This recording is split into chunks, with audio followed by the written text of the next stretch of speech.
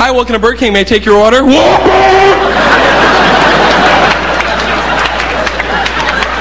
Sir, Whopper no onion! Excuse me, Chewbacca? Uh, I'm bleeding from the ears here. Now drive around! I would rather have had people yell. It was when people didn't talk loud enough. That drove me crazy. You know, 10 cars out there. I'd be like, Hi, ma'am, may I take your order? There's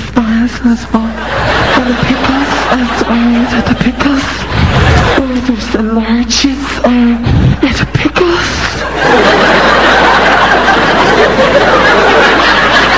Ma'am, hello, can I help you?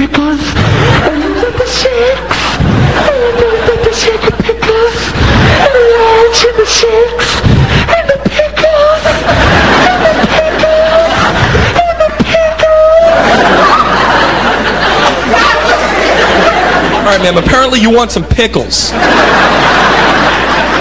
ma'am, are you trying to molest me via drive through? What are you saying?